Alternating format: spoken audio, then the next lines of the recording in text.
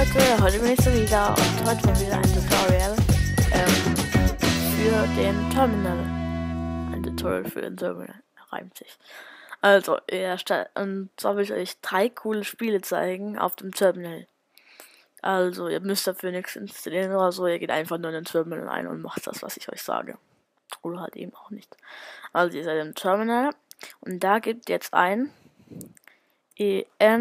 A also Emacs, Emacs vergrößere ich, Enter.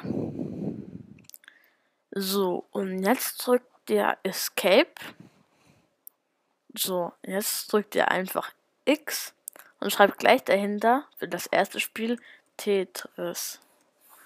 Enter und das könnt ihr hier Tetris spielen. Also mit der Tastatur. Na, das will ich euch jetzt auch nicht so lang zeichnen. Ich denke mal, ihr wisst ja, wie Tetris gespielt wird. Okay, und dann jetzt das zweite Spiel. Da geht wieder Emacs ein. Enter, Escape, X und gleich dahinter dann Snake. So, Enter. Jetzt habt ihr hier so eine Schlange. Also Snake werden wahrscheinlich die meisten von euch kennen. Ich muss dann halt diese roten Teile hier einsammeln.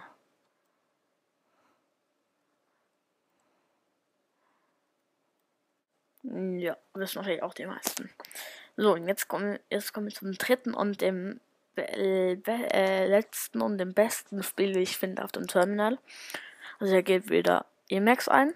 Emacs. Enter. Escape. X und dann einfach Pong. Äh, Pong.